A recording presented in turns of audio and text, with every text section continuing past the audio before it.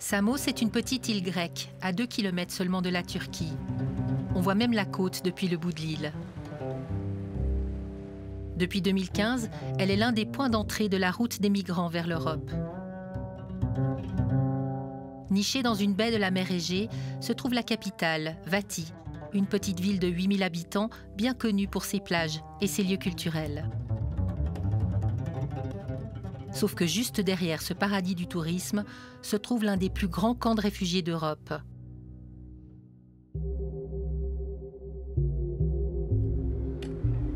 3500 hommes, femmes et enfants attendent ici que les autorités acceptent ou refusent leur demande d'asile.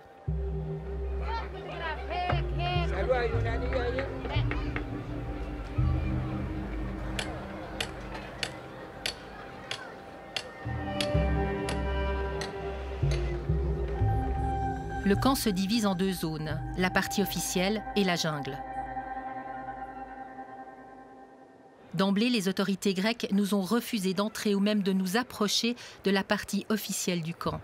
Motif Le coronavirus. Difficile à accepter vu les centaines de personnes qui y entrent et sortent chaque jour.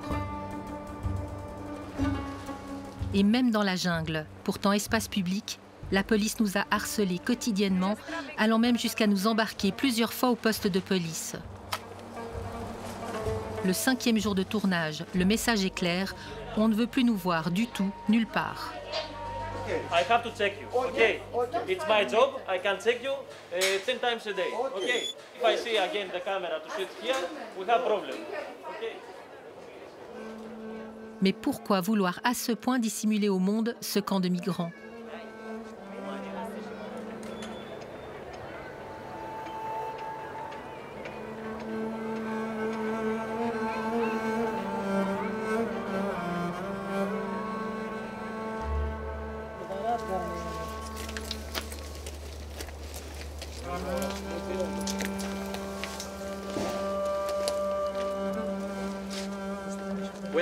Coming, these these children three months, but now one years, six months.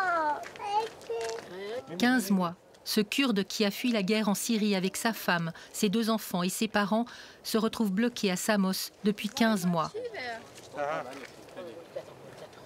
I was a student of Damascus University, but now nothing. But here, just I eating and sleeping. Same the animal. I'm so sorry. Same the animal. Just eating and sleeping. Nothing. This not life really. Cette famille n'est pas une exception. Tous, quelle que soit leur nationalité, attendent ici que leur procédure d'asile soit étudiée par le gouvernement grec. Il y a essentiellement des Africains, des Afghans et des Syriens.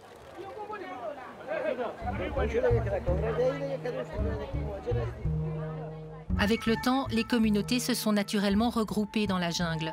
On peut même identifier des quartiers en fonction des langues, arabe, français ou farsi.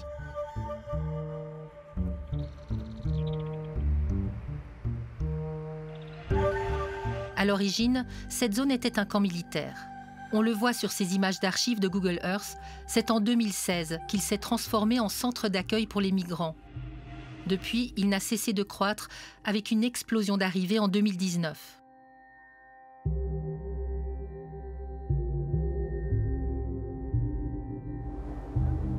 Comme la partie officielle n'est prévue que pour 660 personnes, tous les autres migrants s'entassent dans des tentes qu'ils essayent d'aménager au fil du temps.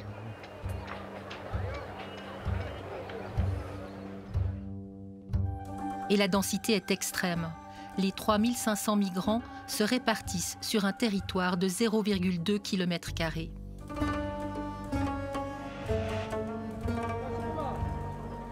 Composé de containers entourés de barbelés, le camp officiel héberge les personnes les plus vulnérables. C'est le cas de Leila, une jeune africaine de 25 ans qui a fui un mariage forcé dans son pays. Très effrayée, elle tient à garder un anonymat absolu. Like eight, and the few beds. We have to use few beds and like two two people on one bed. However, still, Two people in the same bed. mm-hmm, And two people from the same family? no.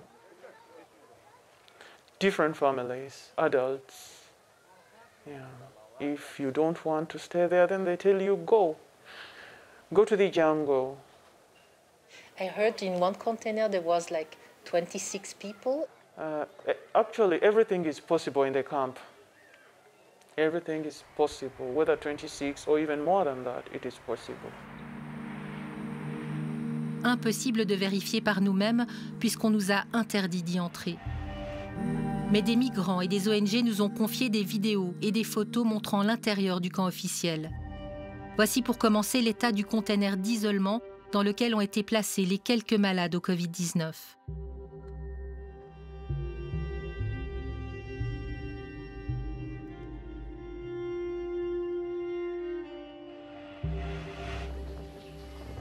Toilettes et douches totalement délabrées, souvent souillées, nous avons reçu beaucoup de ces images de la part des migrants.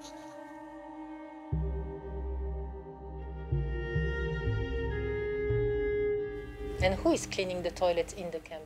They are not being cleaned, they are not disinfected, so which means they carry a lot of diseases. And we, we are very many people who are using them. You can just imagine.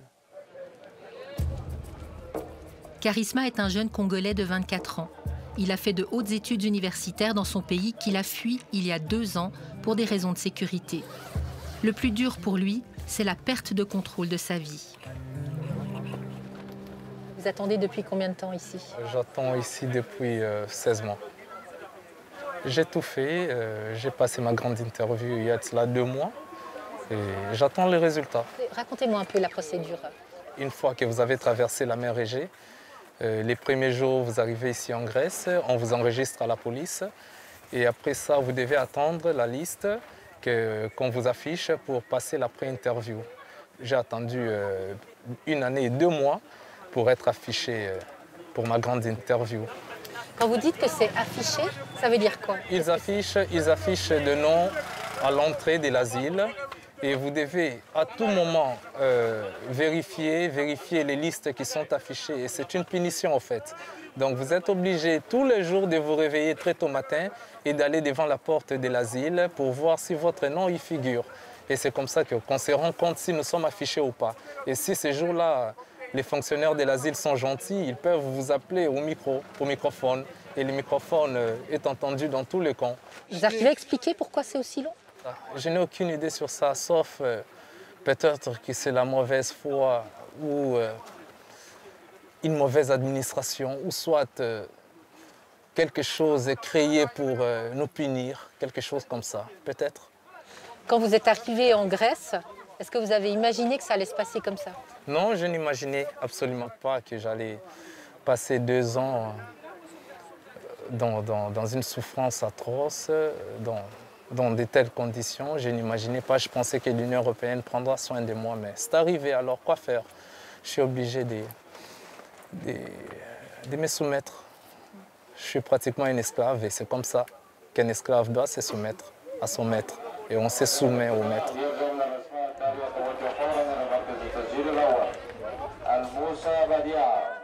Des mois d'attente, d'incertitude, dans un espace surpeuplé, le camp est une poudrière sociale. Vous devez vous supporter. Il y a des tensions entre les communautés, c'est pas facile. Bien sûr, c'est pas facile. Il y a du sang qui coule sur l'asphalte à tout moment. Donc vous devez juste être concentré et surtout ne pas céder. Ne pas lâcher, surtout. Ne pas lâcher.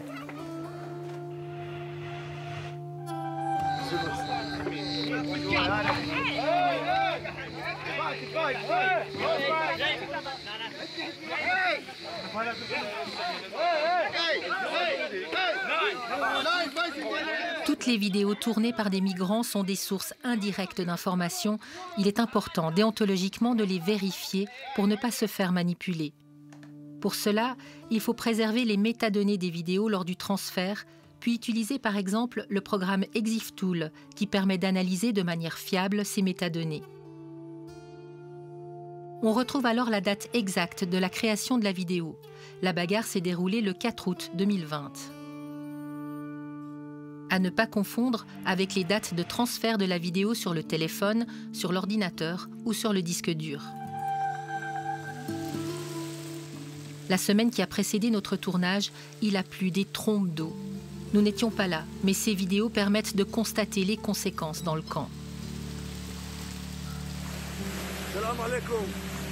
هاي حالة اللاجئين في ساموس حالة اللاجئين في ساموس حالة اللاجئين في ساموس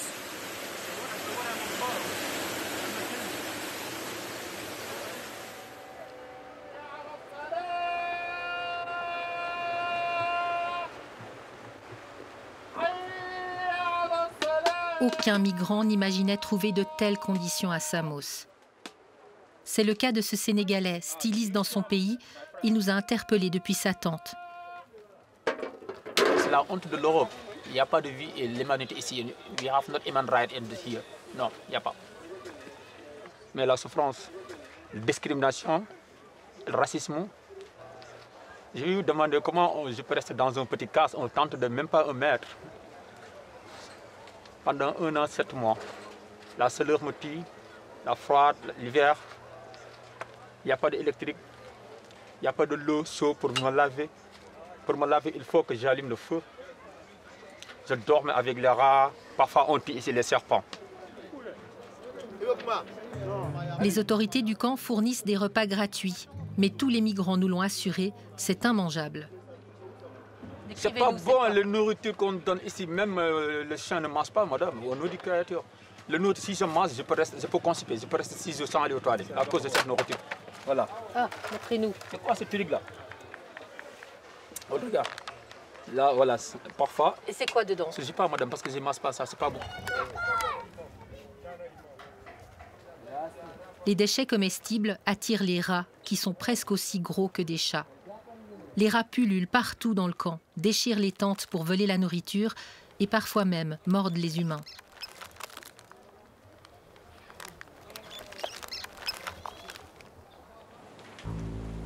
Par chance, pour l'instant, le camp a été relativement préservé du coronavirus, et heureusement, car les soins de santé prodigués par les autorités sont quasi inexistants. À Samos depuis 16 mois, cette famille syrienne nous invite dans sa tente. Elle tient à nous parler des enfants. Mais comme personne ne parle anglais, on attend un voisin pour nous aider à communiquer. Talking in English? So, what is the problem with the children? إيش الاطفال إيش المشكلة العندهم؟ واحد عنده فتحه بالقلب واحد نقص نمو وعنده بنت حاله نفسيه Uh, these uh, children, small children, The small uh, yes, Yes. Uh, and a heart problem. And uh, children, this uh, and the other one? another one uh, have uh, problem uh, problem no every day give vitamin every day this 20 kilo 20 kilo. 20 kilo How old is he? the, te, uh, 10 10 years old. Oh, yeah. And she, Right. 3 3 three- years she's three years. And the camp, they do nothing for you? the- الكم اعطاك اي شيء الكم ما اعطاني حولوني على المشفى ما اعطاني nothing Uh, come speak go to hospital hospital Uh-huh. hospital this guys go to hospital uh, hospital nothing speak every day go And there is a doctor in the camp? one doctor Un seul docteur pour 3500 migrants. Les soins médicaux sont assurés essentiellement par des ONG et leurs volontaires. Et tous tirent la sonnette d'alarme sur un autre enjeu, la santé mentale de leurs patients. Il y a beaucoup de tendances suicidaires, y compris chez les enfants. Spontanément, l'un des hommes qui suivait la conversation vient vers moi et enlève son pull. Il veut me montrer. Tout son corps est couvert de scarifications. Why? Why? Samos? Who? Samos. You are alone here. Ah, Samos. Ah. Your family? Family Syria. One. Yes. Il est venu seul de Syrie il y a 18 mois et je ne sais pas ce qu'il a vécu avant de venir. À Samos, il a dû plusieurs fois faire recoudre ses blessures auprès d'ONG qui m'ont confirmé qu'il n'est de loin pas le seul à se mutiler.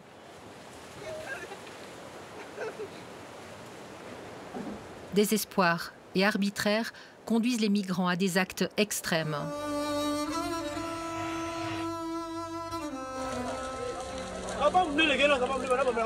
Il y a eu plusieurs fois des incendies à Samos en 2020.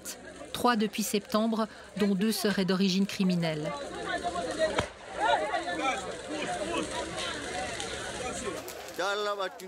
Les migrants ont filmé les feux et de très près.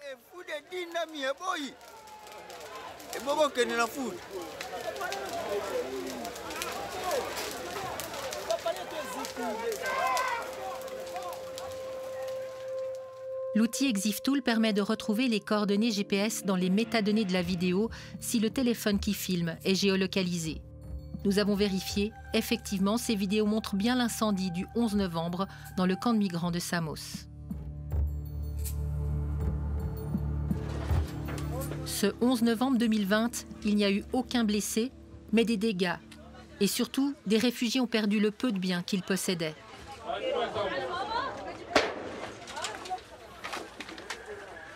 Ces conditions indignes interpellent d'autant que depuis 2015, pour l'aider dans sa gestion des migrants, la Grèce a reçu 3,12 milliards d'euros de l'Union européenne.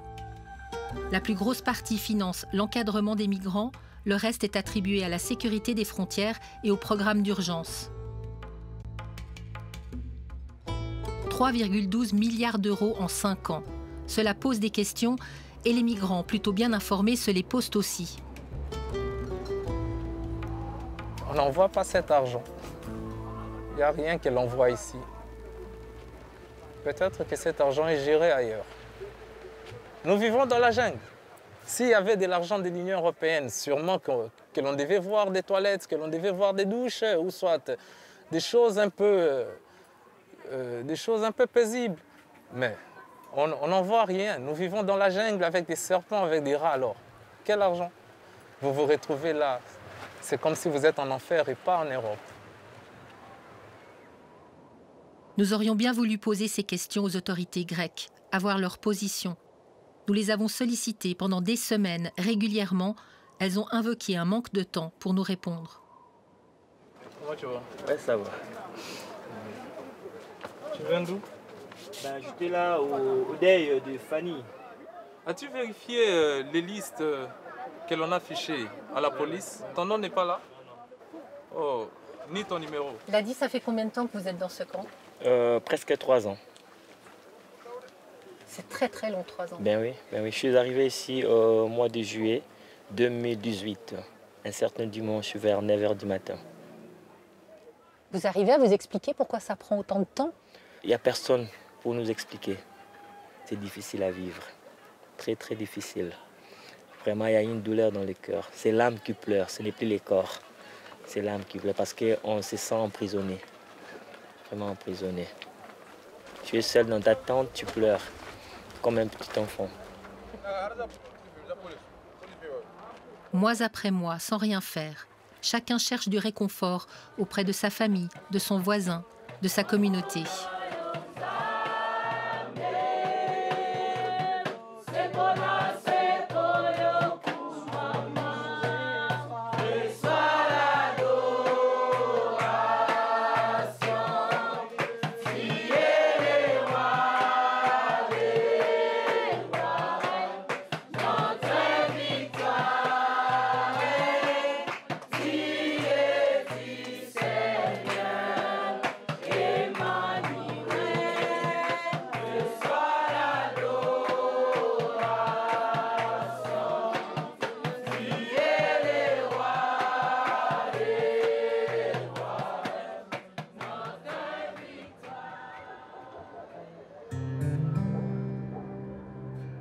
La nuit tombe tôt sur le camp de Samos, vers 17 heures.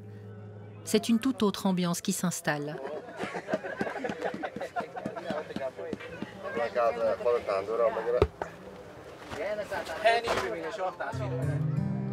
En dehors du camp officiel, il n'y a aucune lumière.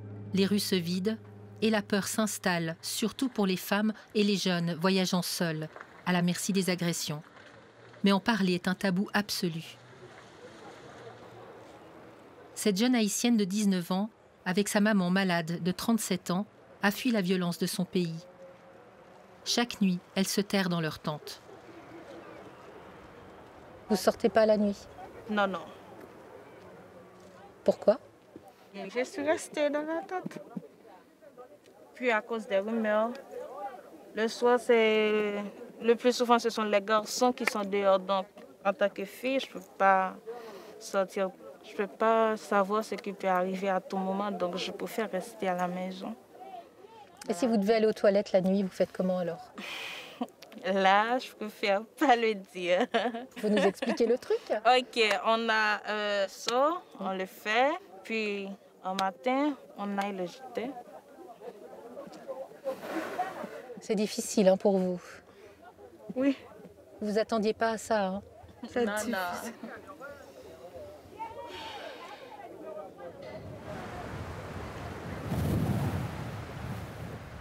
Leïla a vécu l'horreur.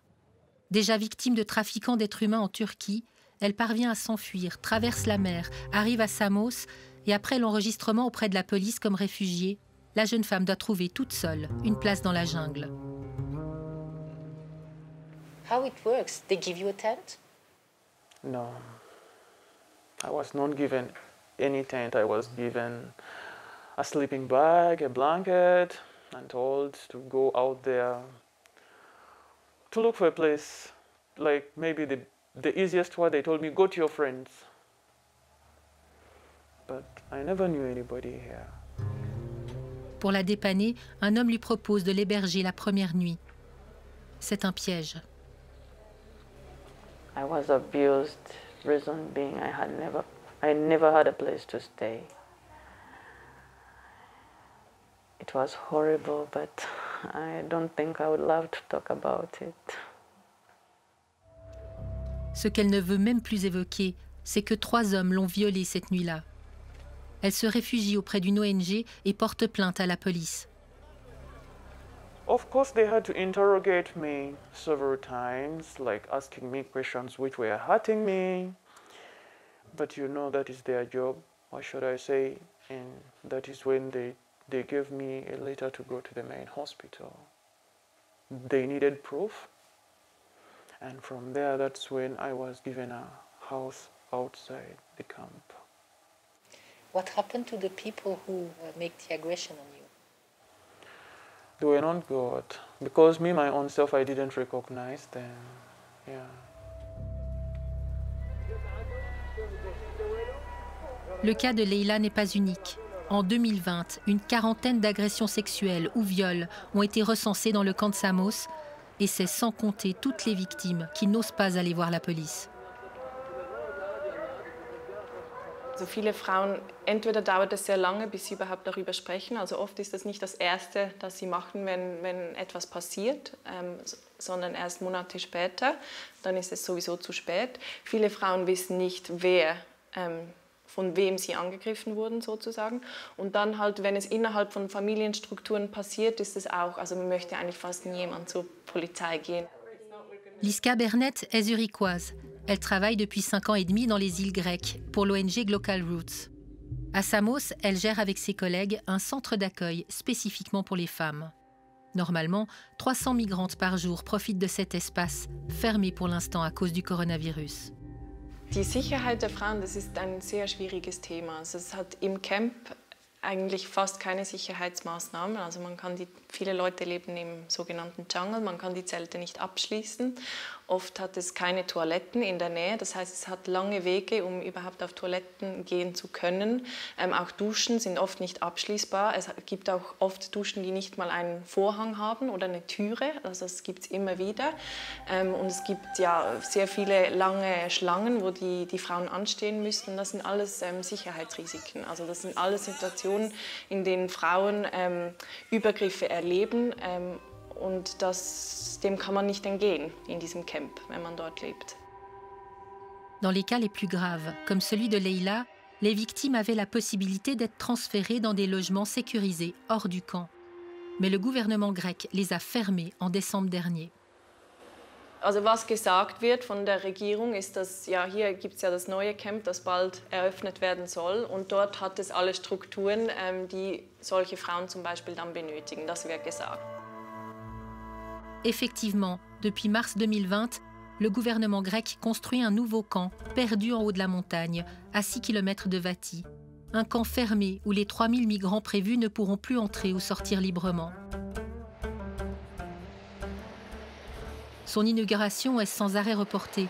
Les travaux ne sont visiblement pas terminés.